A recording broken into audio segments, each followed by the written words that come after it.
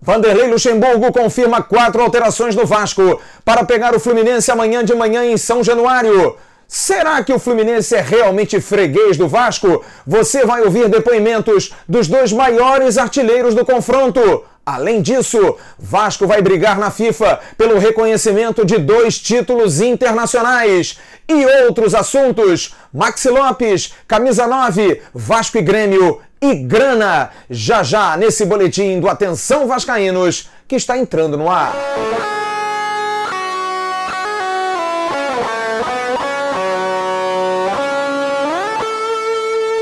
Alô, turma!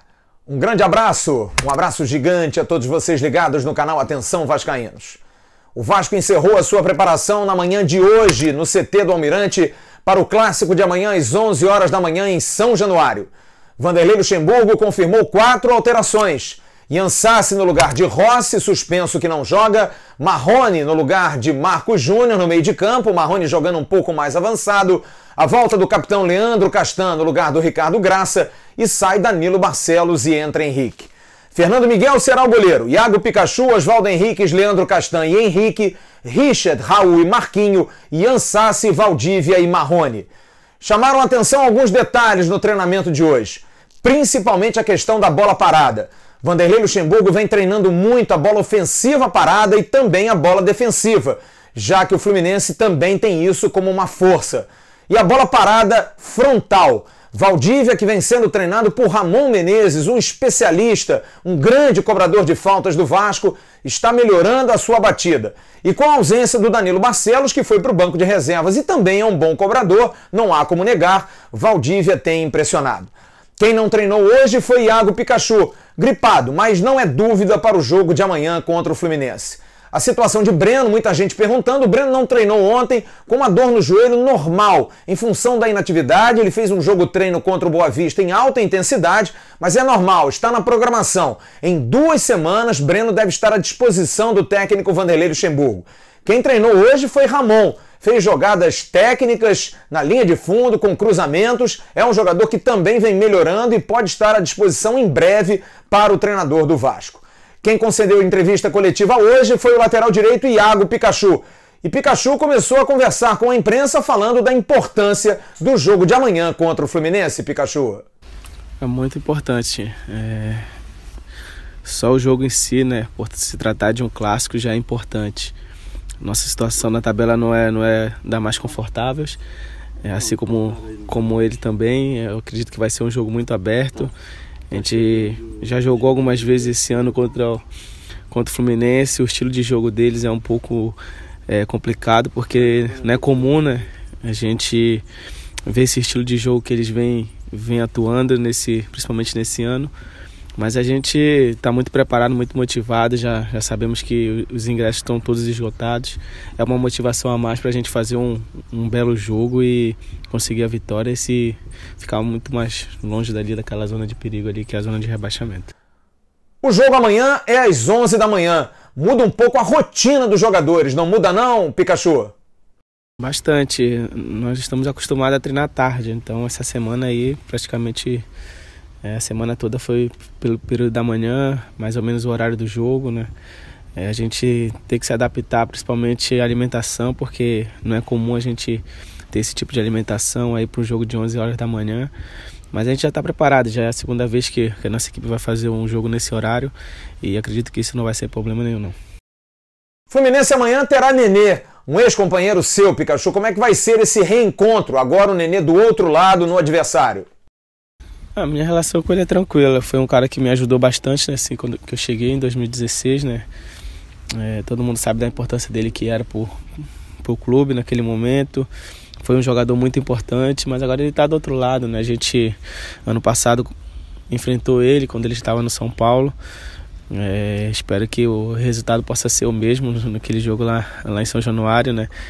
É um cara que eu tenho, depois que ele saiu, um, um pouco menos de, de contato, né? Mas é um cara tranquilo que nos ajudou bastante, mas como eu falei, agora ele está do outro lado, a gente tem que, tem que passar por cima dele também. Você passou por um momento de queda normal de um jogador que viveu até um momento que a torcida pedia sua convocação para a seleção. A torcida pegou meio que no seu pé, mas parece que agora Vanderlei o colocou na lateral direita e você está rendendo e o torcedor começa a voltar a gostar do antigo Iago Pikachu. Como é que está essa sua relação com o torcedor, Pikachu? Acho que uma, uma coisa puxa a outra, né? A gente é, teve, sim, houve uma queda assim, de rendimento. Eu estava jogando na, na, posição diferente que eu estou jogando agora, estava jogando na frente. É, é, outros jogadores estavam passando por um momento melhor que o meu, principalmente no começo do ano, Rossi, Marrone, Thiago, é, outros jogadores ali que, que atuam naquela posição. Cheguei até a ficar no banco de reserva, mas continuei trabalhando. É, assim que o Vanderlei chegou, é, me colocou na minha posição de origem, onde sempre deixei claro é, que onde eu preferia jogar, que era lateral.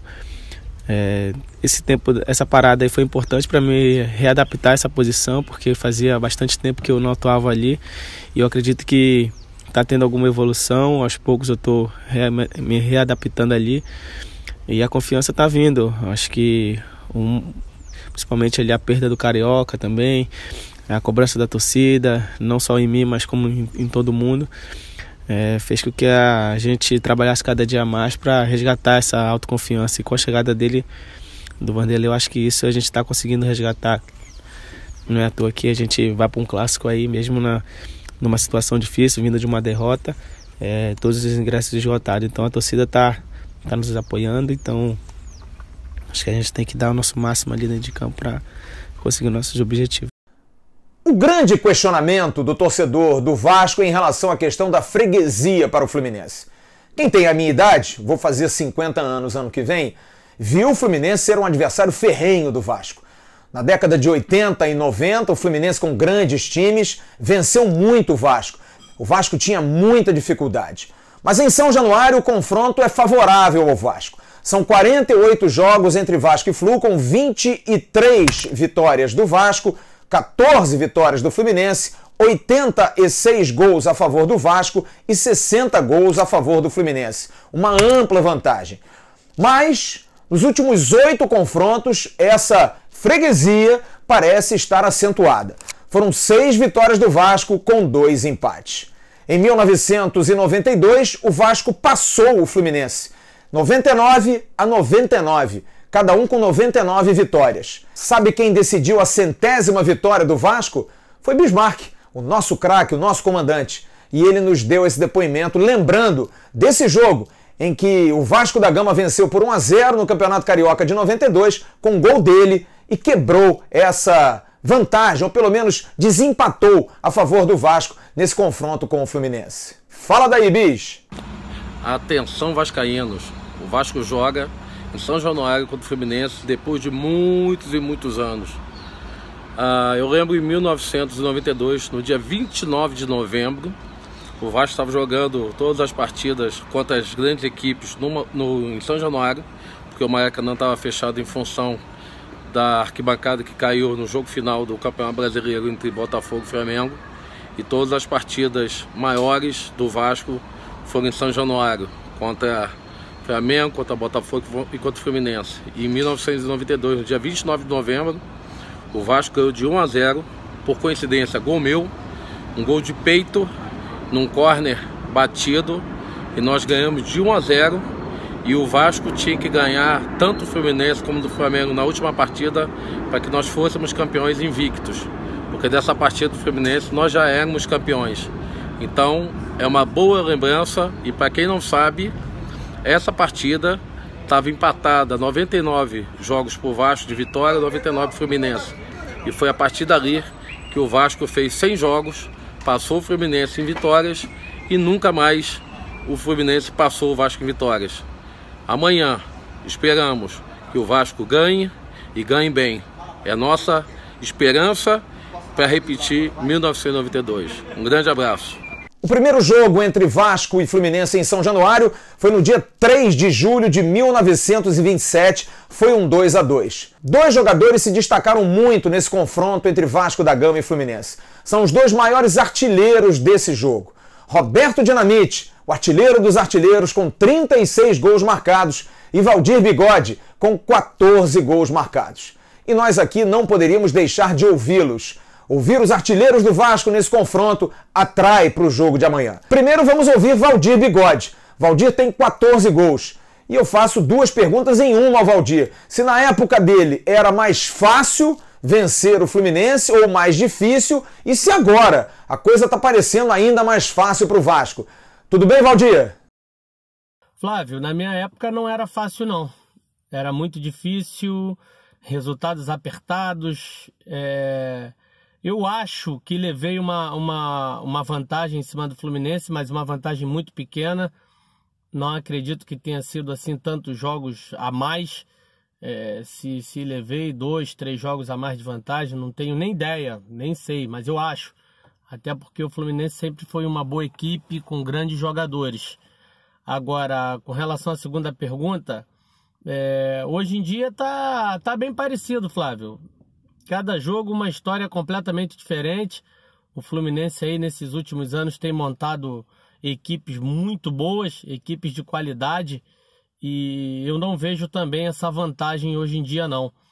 É, às vezes parece, por você ter ganho assim dois, três jogos seguidos, parece que foi fácil, mas não, não, não foi fácil nem no passado e nem está sendo nesse presente.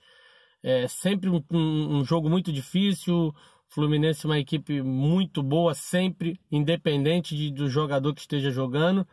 E para te dizer a verdade, nunca foi fácil e nunca será. Sempre será um clássico de respeito, é, é, tanto no passado quanto agora. E eu acho que até no futuro vai continuar esse mesmo equilíbrio. Abraço, Flávio! Bom, agora vamos ouvir Roberto Dinamite, nosso grande ídolo, nosso grande artilheiro, o artilheiro também desse encontro. Roberto fala desse confronto, se era difícil na época dele e se agora a coisa mudou. Hein, Roberto? Olha, aqui na, na, minha época, realmente foi, eu fazia muito gols, muitos gols contra o Fluminense, mas a gente não tinha, vamos dizer, a gente não conseguia sempre grandes resultados contra o Fluminense.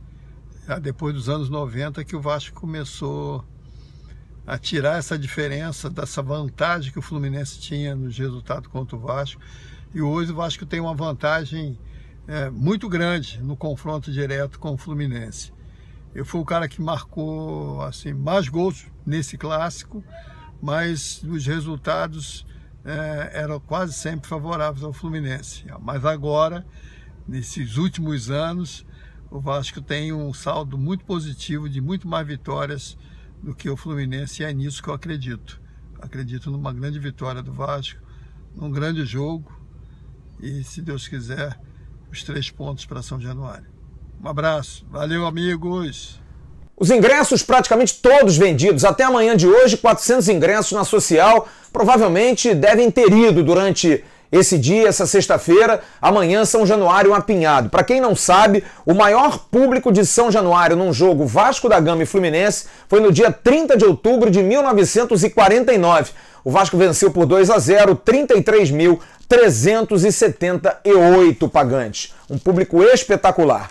Para quem fala aí de questão de freguesia, bom a gente colocar aí os números, né? 366 jogos entre Vasco e Fluminense. 146 vitórias do Vasco, 116 do Fluminense, 104 empates, 547 gols a favor do Vasco, 497 a favor do Fluminense. Fiz aqui um pequeno levantamento em relação às décadas e o Vasco perde em poucas. Normalmente o Vasco vai vencendo. De 2011 a 2019 foram 28 jogos. 16 vitórias do Vasco, 5 vitórias do Fluminense, o restante foi empate. Por exemplo, vou dar um exemplo aqui. Entre 91 e 2000, foram 47 jogos entre Vasco da Gama e Fluminense, 10 vitórias do Fluminense e 23 vitórias do Vasco. Portanto, temos amanhã a obrigação de manter essa escrita e essa freguesia. Que o Vasco consiga realmente vencer o Fluminense. A última vitória do Fluminense foi no dia 22 de abril de 2017. E a última vitória do Vasco foi na decisão da Taça Guanabara, naquele jogo vergonhoso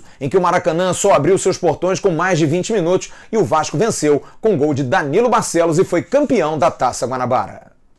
Bom, vamos então às notícias do nosso adversário. Eu vou chamar o meu amigo, meu companheiro Gerson Júnior, repórter da Rádio Brasil aqui do Rio de Janeiro, que nos fala como o Fluminense vem para esse jogo. Fala daí, Gerson. Muito bem, Vasco e Fluminense jogarão amanhã, às 11 da manhã, São Januário, jogo válido pelo Campeonato Brasileiro. O técnico do Fluminense, Fernando Diniz, não vai poder contar com o meio-campo Paulo Henrique Ganso, que vai cumprir suspensão automática, e também com o volante Alan, por causa de problemas contratuais. Meio atacante Wellington Nem foi apresentado, mas como não foi regularizado, não terá condições de participar desta partida. A time mais provável do Flu para o clássico de amanhã diante do Vasco Agenor, Gilberto, Nino, Digão e Caio Henrique, Ayrton, ou Yuri, Daniel e Nenê na frente, Johnny Gonzalez, Pedro e João Pedro. Lembrando que o Fluminense só tem duas vitórias no Campeonato Brasileiro e se vencer vai dar um salto na tabela de colocação da competição. Um outro detalhe, desde 1973 que o Fluminense não consegue vencer o Vasco jogando